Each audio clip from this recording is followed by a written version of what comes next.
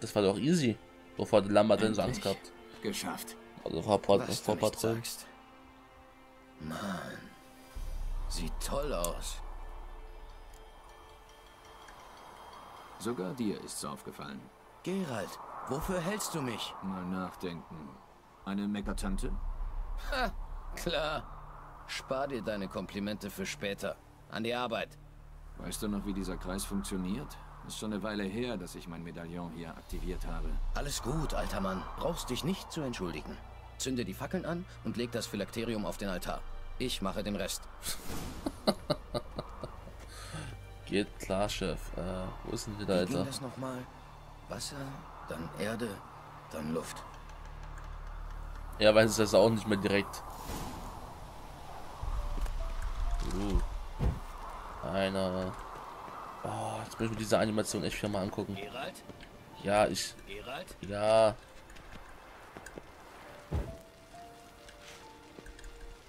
Okay, und. Okay. Alles klar. Mach den Das Ding. Phylakterium ist an seinem Platz. Jetzt müssen wir warten. Die Fiole absorbiert die Kraft der Elemente. Und wir gönnen uns eine Verschnaufpause.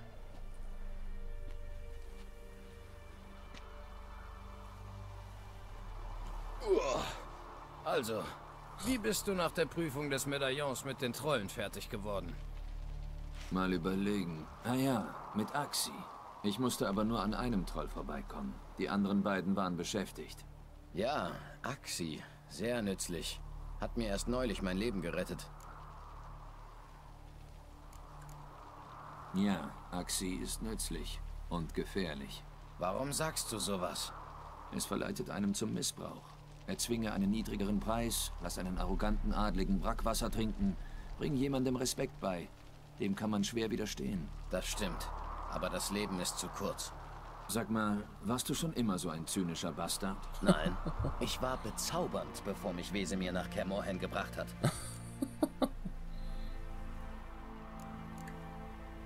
Du denkst, es ist so schlimm, ein Hexer zu sein? Ich hätte noch jemand Schlimmeres werden können. Leider hatte ich keine Wahl. Wie ist ein Hexer war geworden? unser Schicksal. Schicksal? Ich erzähl dir mal was von Schicksal. Mein Vater war ein Säufer. Hat sich einen hinter die Binde gekippt, dann mich und meine Mutter blutig geprügelt. Wir haben jede Nacht um seinen Tod gebetet. Eines Tages wurden unsere Gebete fast erhört. Vater hat sich auf dem Heimweg von der Taverne verlaufen, ist direkt in ein Neckernest gelaufen. Doch ein Hexer hat ihm geholfen. Weißt du, was er im Gegenzug wollte? Erzähl es mir. Er mir nicht nichts. Das erste, was du zu Hause siehst. Mein Leben für das Leben dieses Arsches. Ich sage, fick dich, Schicksal. Das wusste ich nicht. Tut mir leid. Falls du dich nochmal wunderst, warum ich so verbittert bin, jetzt weißt du's. So kam er jetzt zu Wesemir, Na schön, genug gejammert. Verschwinde weil Wesemir jemandem geholfen hat.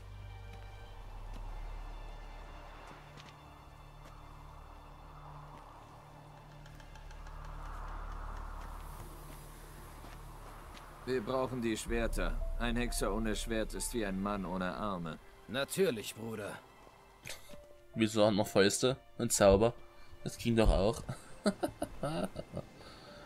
Hexer nehmen ihre spitzen Stöcke auf den Rücken und gehen nach Hause. Keine Sorge, du musst uns nicht überzeugen. Komm, Gerald, gehen wir.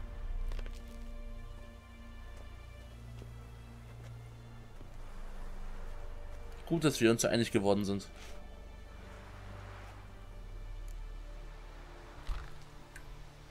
Gut, gehen wir zurück. Nach dir, mein Herr. Immer muss ich die ganze Reise jetzt nicht selbst antreten. Dankeschön. Oh boy, okay. Gut, dass es dann doch noch so ausging. Über einen Gabelschwanz anlockt. Hä? Warum ist denn jetzt die Quest hier markiert? Huch. Das müssen Eskels Spuren sein. Sonst hat in letzter Zeit niemand die Festung verlassen. Äh, das ist schön für ihn. Muss ich denen jetzt wirklich nachgehen? So direkt wie es ist. Na gut, machen wir eben das. Oh. Hä, warum geht bei mir jetzt schon ein Schwert kaputt?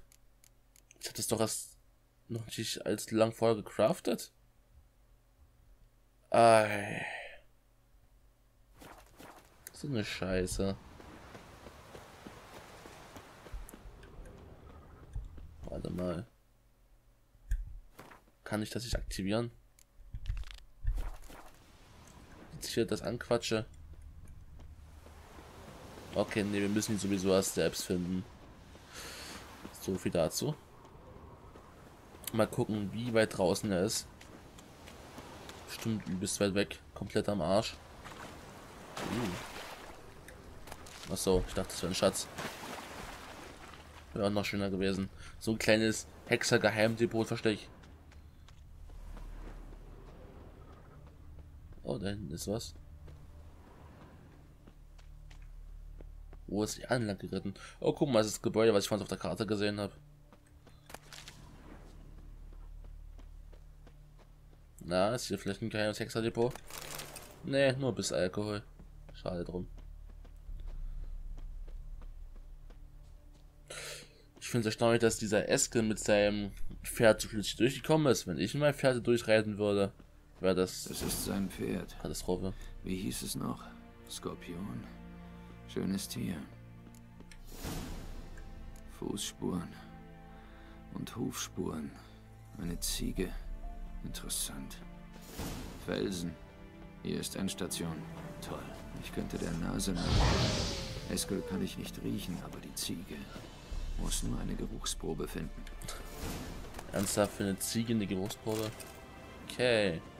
Moment. Ich habe doch keine Ziege gefunden, oder? Hä?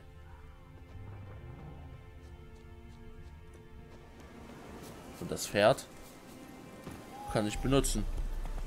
Nett. Hilft mir aber nicht. Ähm. Das hier vielleicht? Eskels Lager. Er hat sich wohl auf einen längeren Aufenthalt eingestellt. Was man halt so macht. Auf der Jagd. Ja, die Ziege war hier. Tonung auf wahr. Gibt es auch irgendwie Spuren, die ich untersuchen könnte? Guck mal da drüben. War gerade was. Vielleicht, wenn ich darüber komme. Ah. Guck mal, hier geht's weiter. Mega Die hat sich nicht selbst hier angepflockt. Warum nicht?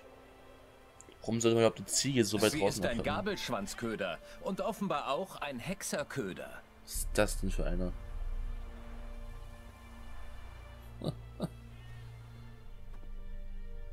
Okay, nett. Das wird eine kurze Jagd, dann ist gut. Um einen Gabelschwanz zu fangen, schlag einen Pflock ein, binde eine Ziege daran und verbirg dich flugs im nächsten Gebüsch. Bruder Adalberts Bestiarium, Seite 82.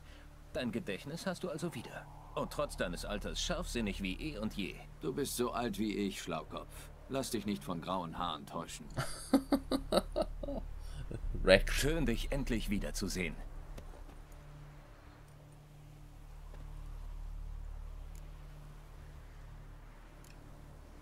Dich auch.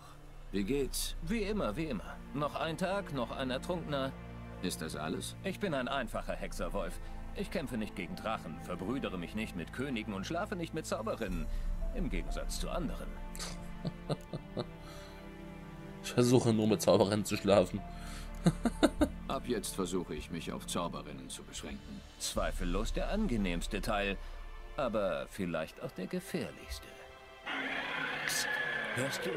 Er kommt. Wie war das zu überhören? Wie fällt Ihnen das als erstes auf? Äh, wenn nee, so erkämpfen. Ups.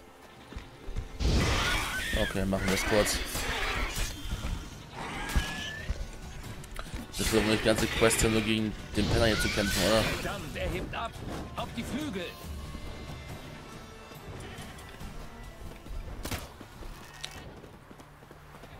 Scheiße.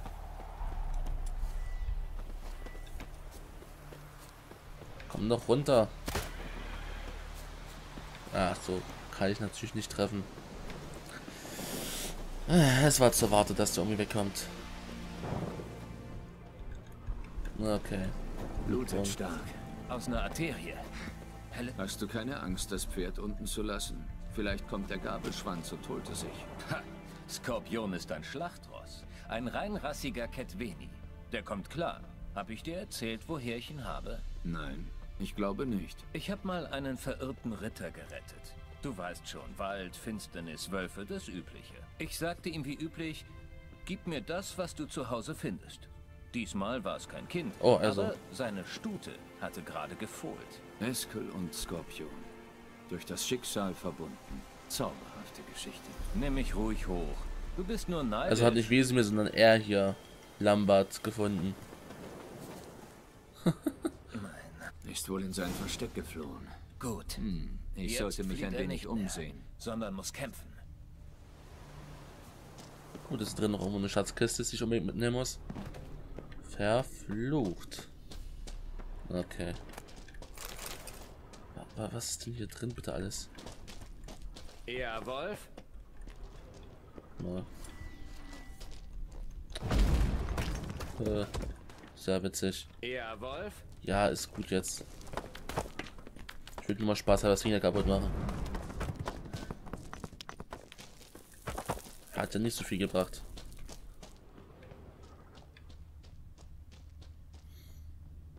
Hm, Jetzt muss ich noch nach diesem blöden Schatz suchen. Für den Fall, dass der wichtig ist. Oh Mann. Wie konnte man die Höhle bisher nicht gelootet haben? Oh, geht's weiter, ja. Let's go. Komm, Alter, runter mit ihm. Eben noch nicht. Oder eben doch. Easy. Na schön. Her mit der Rückenmarksflüssigkeit und dann raus hier. Schneide hinten direkt unterhalb des Schädels. Hat Jen dir gesagt, wozu sie sie braucht? Du weißt es also nicht.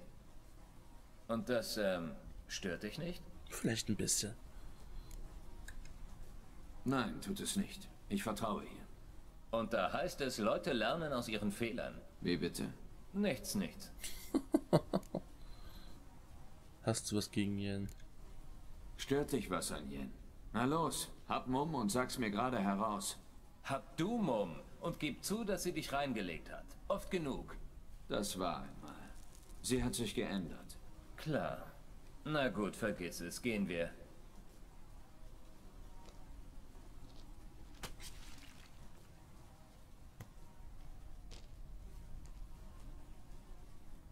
Die Gestik, herrlich.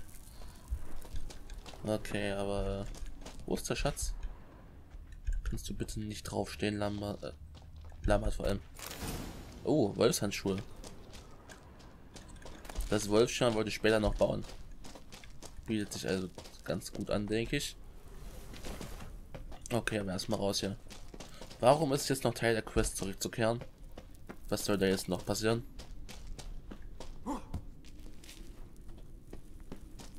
Will eigentlich sind wir doch hier schon fertig. Oh, Hellplätze. Warum steigt der jetzt ab? Hey, was hältst du von einem kleinen Rennen? Wollen wir sehen, wer schneller ist? Plötze oder Skorpion? Und wer besser reiten kann? Aber klar Eine doch. Herausforderung, weil ich dich auch auf einer lahmen Sau besiegen würde. Aber warum nicht? Du bist selbst eine lahme Sau. Wer Kermorhen zuerst erreicht, hat gewonnen. Wie tief in die Medizinlinie? Okay, klatsch schon selbst. Let's go! Muss auch noch selber lenken. Okay, der scheint tatsächlich mal ein bisschen schneller zu sein. Damn, son. Okay, ist immerhin eine gute Möglichkeit zurückzureisen. Die Wege sind sogar tatsächlich ziemlich sozial im Gegensatz zu dem, was ich sonst so gesehen habe, in Wien zum Beispiel. Das Rennen ist mit ein bisschen Glück bald vorbei. Und meine Pferdeausdauer hält auch nicht allzu lange. Naja, Und du erstmal ran da hinten. Ja, wir sind fast da. Plötzlich, du schaffst es. Ah, das letzte Achtel. Nein, nein, nein, nein, nein, nein. Oh Gott. So ist gut. Geschafft. Endlich. Hat ja gedauert. Der Sattel war locker. Alle schlechten Tänzerinnen geben ihren Schuhen die Schuld. Bist selbst eine schlechte Tänzerin. Aber ein verdammt guter Reiter. Wir haben nicht gewettet, doch ich finde, du verdienst einen Preis. Gib mir ein Schwert. Komm schon, von dir nehme ich nichts. Gib mir mal einen aus, das reicht. Abgemacht. Okay. Ich habe da jetzt vielleicht irgendwas verpasst, aber äh, scheiß drauf. Okay, jetzt müssen wir nur noch Jennifer mit dem Megaskop helfen und dann sehen wir, was passiert. So, nochmal kurz speichern hier. Oh, Level Up. Nice, das nice, das nice. Ähm. Dum, dum, dum, dum.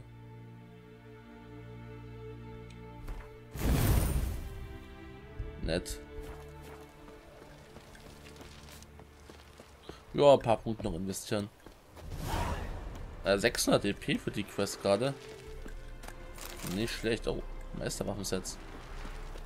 Äh, Reparatursets meine ich. Aber trotzdem. Gut genug auf jeden Fall. Ich frage mich, wie nah wir jetzt schon am Ende von dem Spiel sind. Weil sobald wir Tiere wieder haben, wird dann sicherlich auch schon bald der Kampf gegen die wilde Jagd stattfinden. Dann wird es richtig spannend.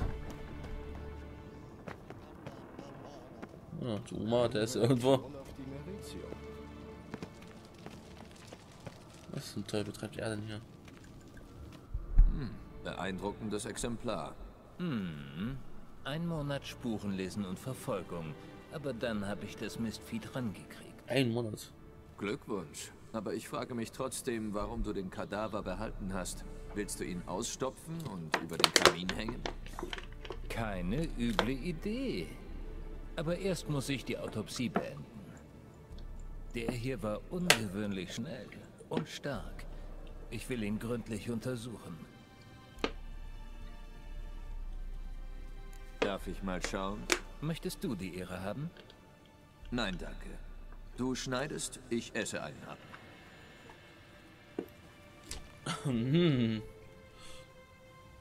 Der What the fuck Blick. Alter, wie geil. Öffne seinen Bauch. Er ist da einfach nebenbei. Was? Und? Irgendwas Interessantes? Unverdaute Nahrung aus einigen Jahrzehnten, wie es scheint.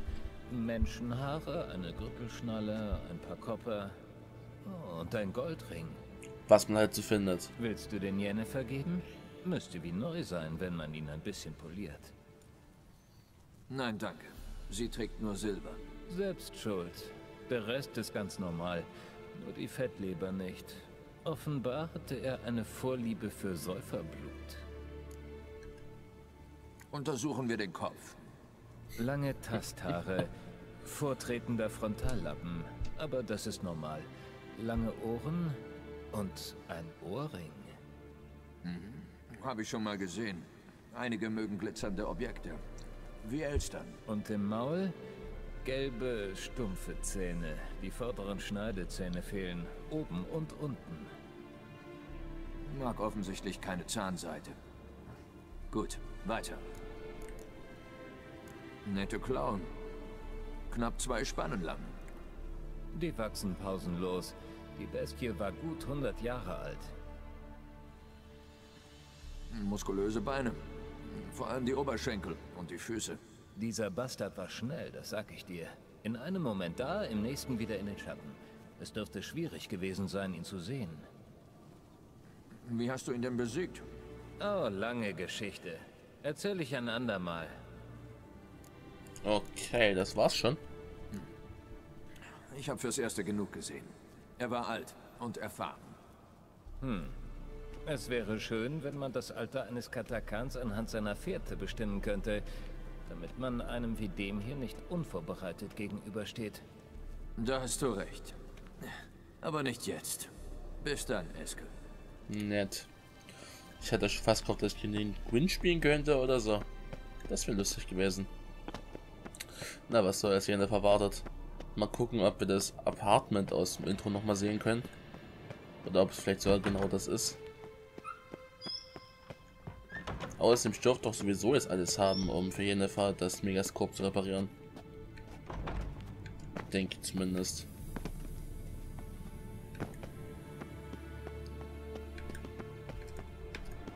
Was ist das denn hier für ein langer Aufweg? Netter Turm, aber trotzdem. Was zum Teufel? Oh je. Alter! Verdammter Kristall! Willst du uns in die Luft jagen? Gerald, tut mir leid, aber ich bin nicht zu Scherzen aufgelegt. Was ist los mit dir? Lass mich nachdenken. Das war der dritte Kristall, der explodiert ist. Lambert tut seit einer Woche nicht, worum ich ihn gebeten habe.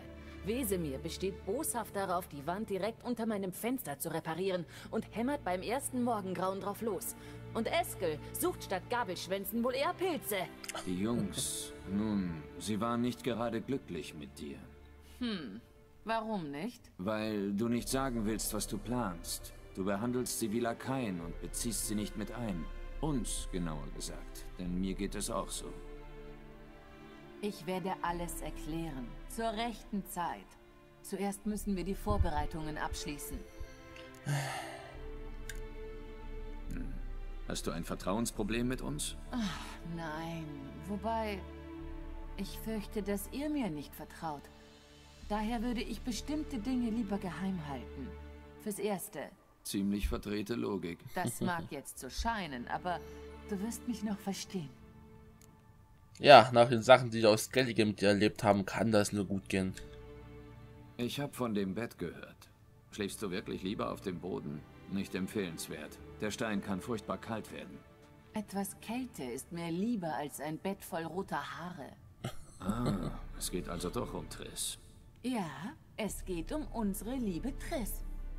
Gerald, ich wirke ungern wie eine rachsüchtige Giftnudel, aber in diesem Bett hast du zufällig eine gute Freundin von mir gefickt. Ja, Wenn man's ich so ausdrückt. Du hattest das Gedächtnis verloren. Wie auch immer. Sagen wir einfach, dass ich aufhöre, dir Vorwürfe zu machen und du dafür das beknackte Bett nicht mehr erwähnst. Einverstanden? Einverstanden. Wunderbar. Beschäftigen wir uns mit Wichtigerem. Schön. Was soll ich tun? Hilf zuerst Eskel und Lambert. Einer sollte mir Rückenmarksflüssigkeit von Gabelschwänzen besorgen. Der andere das Phylakterium Wir haben beides erledigt. verstärken. Ich warte noch auf beide. Schon erledigt. Tatsächlich? Welch Einsatz. Dann bleibt nur noch eine Kleinigkeit. Nein! Ich dachte, Wie du gesehen hast, benimmt sich mein Megaskop mm, recht spektakulär. Ich bin sicher, dass es in der Nähe eine Energiequelle gibt, die Störungen produziert und verhindert, dass die Kristalle funktionieren. Wir müssen sie finden und neutralisieren. Und das schnell. Ich muss mit jemandem reden. Es ist wichtig. Na klar. Na gut. Wie finde ich die Quelle? Benutzt diesen Protestakquisitor. Ja, weggesteckt. Wie immer. Protest... Protestakquisitor? Klingt ausgefallen und kompliziert. Und ist doch so einfach. Schön festhalten und bewegen. Je lauter er piepst, desto näher bist du dran. Mhm. Erspar mir bitte deinen halbstarken Humor. Und, worauf wartest du? Ja, dies, das. Ich bin schon fort. Äh, eins noch. Was denn noch? Danke, Gerald. Man macht's ja gerne. Äh, neuer Questgegenstand, sehr schön. Ist er schon ausgerüstet? Ist er. Oh Gott, es muss noch fast niesen hier. Oh Gott. Oh Gott. Äh. Jesus Christ. Alter. Aber gut, das ist doch ein gutes Stichwort, um die Folge zu beenden. Beim nächsten Mal werden wir Jennifer helfen, das Megaskop zu reparieren und mal gucken, ob wir den Fluch dann brechen können. Also, bis zum nächsten Part und bis dahin.